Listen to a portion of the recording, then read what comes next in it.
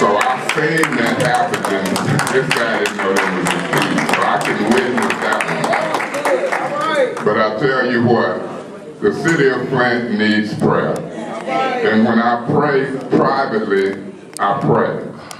They say you go into your closet. My closet is at home, but it's not a literal closet. When they were, when we were out there on the line of City Hall, I could feel something in me. Because you can feel it in your heart. And it was, I call it the Holy Spirit. The Holy Spirit was there because I felt it. I feel it in church. I feel it all the time and I hid behind a tree and I wanted to make sure that my knees touched the ground at City Hall and I prayed while the activities were going on. I know that Flint can be fixed. I'm going to end by quoting my mother's favorite scripture, but first I want to say this. Once I accepted Jesus Christ as my personal Savior, I went to Sunday school.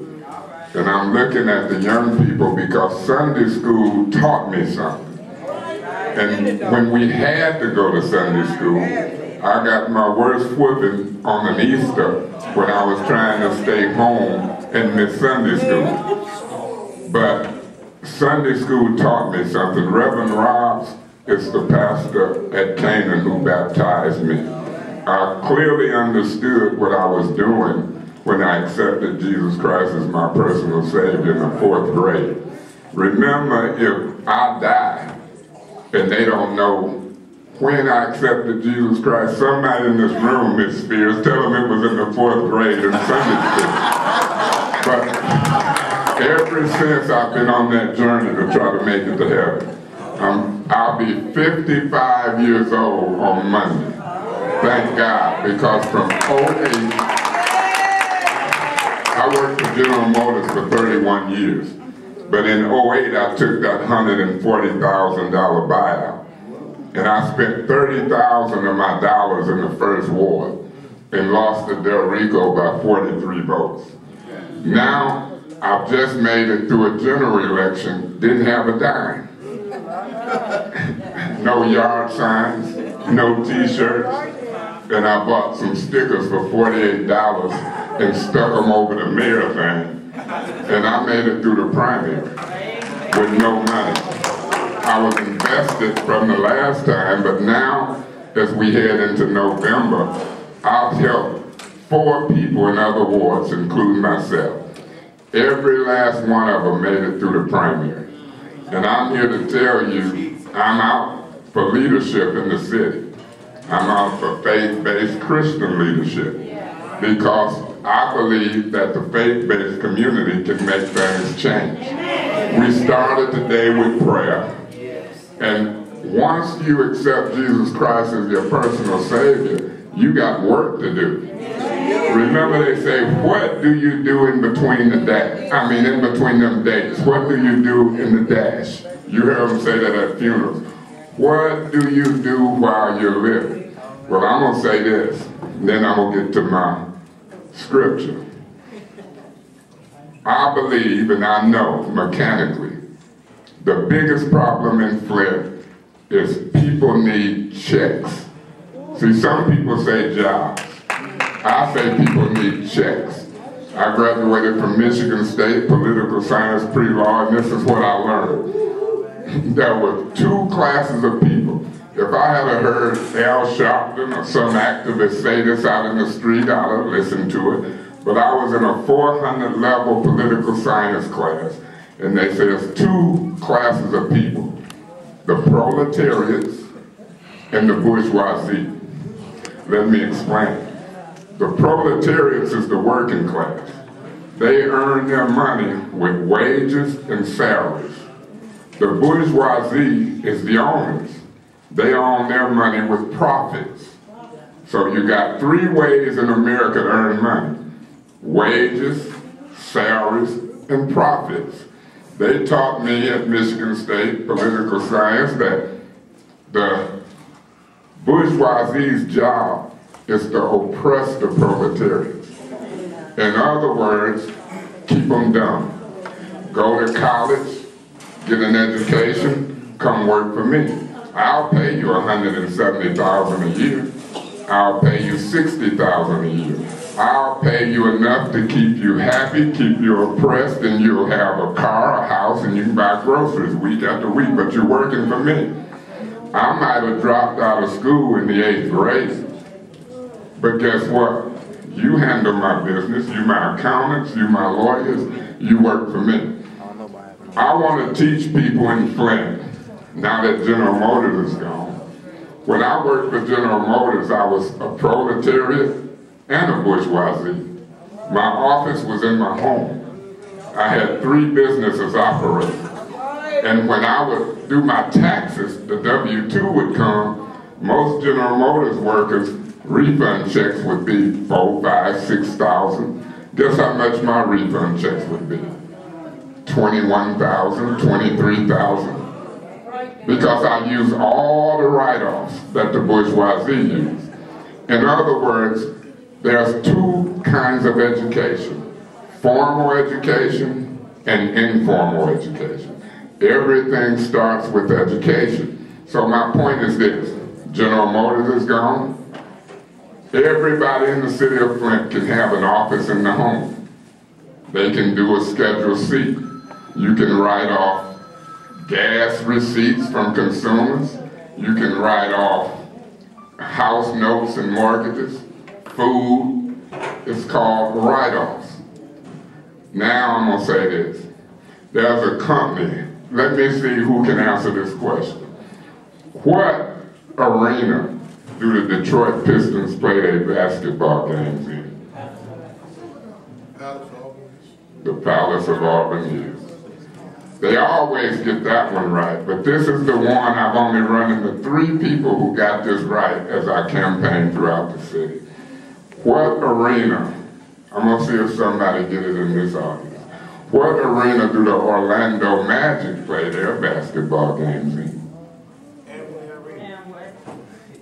Amway Arena. Yeah, You're exactly right. Amway of Grand, Amway, Amway Arena, Amway of Grand Rapids is an epitome of teaching you something.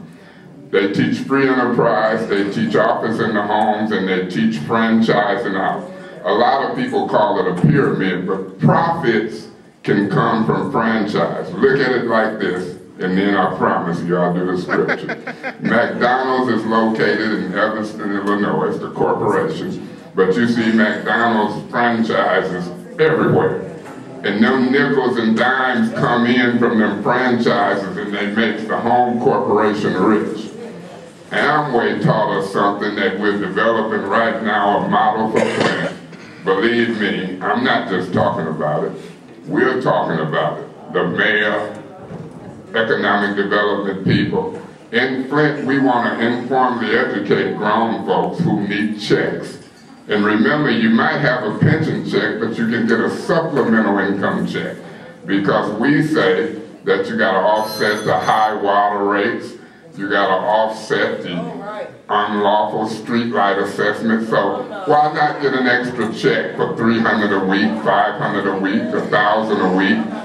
So what we're running on is this, a platform of economic development, meaning that if we accept Jesus Christ as our personal Savior and we do the work to live right, He don't mind if we do the work to enjoy a certain quality of life and help our families while we're here. We're going to take the model from Amway. We might call it Flintway. Their products was soaps and vitamins. Our products will be bottled water, toilet tissue, fruit juices, potato chips, anything that consumers use. And you can branch out. You never run out of people. It's a billion Chinese. If everybody in Flint was in Flintway, you still got people in Swartz Creek, Davis, and Grand Blanc. Remember, everybody don't participate, but watch this. When you start spending and shopping right, 10 and $20 a week and you're getting refund checks and it's growing, oh, it'll catch on. Let me leave you with this scripture. It is my mother's favorite scripture. She's 81. She's a member of House of Prayer. I'm a member of Shiloh. She had a mini stroke. And while she was in the hospital, I prayed for a little more time with her. But I looked through her Bible and I seen some stuff. One of her favorite scriptures is this, and now it's mine. One of them. Proverbs, third chapter, fifth and sixth verse. Trust in God with all thine heart. Lean not to thy own understanding. Acknowledge him in all thy ways, and he shall direct thy path. God bless you. God bless you, Geneva. Miss Spears, this has been a great day. My knees touch the ground. I've humbled myself. He will heal the land. God bless. Amen. Amen. Well, this is the end, okay, for today, for today. Once again, I just want to thank all of you for coming and being a part of Prayer Chain Day. And uh, I don't know, Pastor Jim, why don't you close us out? Amen. Praise God. Close us out. Send us on our way. Amen. Praise God. Praise God. Let us all stand. Please uh, stand. Did we all really give Geneva enough thanks?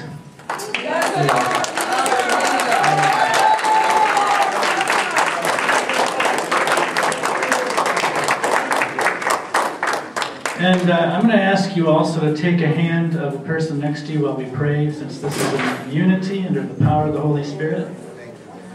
And I should probably grab a hand too. Paul, we love you too. Oh, we love you. Thank you. Thank you.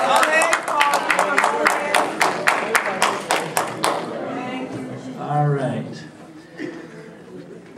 Lord Jesus, we are humbled before you because you keep on doing greater things than all we could imagine or think. And we praise your holy name and your presence amongst us even now.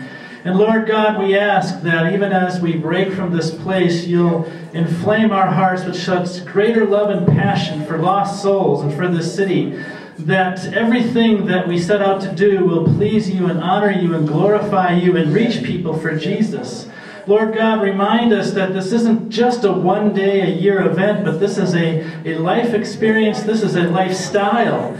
And Lord God, that when we leave this place, we are witnesses passionately proclaiming the good news with everyone we come in contact with, with our words, with our actions, with our embraces, with our with our, our thoughts, with our eyes, with every part of us. Lord God, let us radiate with your love in such a mighty way that people will just can't help but say, That's Jesus, and I want to know him. And Lord God, as everyone goes here, we pray for a safe journey and travels, and Lord, for good night's rest, and Father, for even a greater passion to reach the lost of Flint as we make plans for next year. And Father, it is in the precious name of Jesus and the power of the Holy Spirit that we pray. Amen. Amen.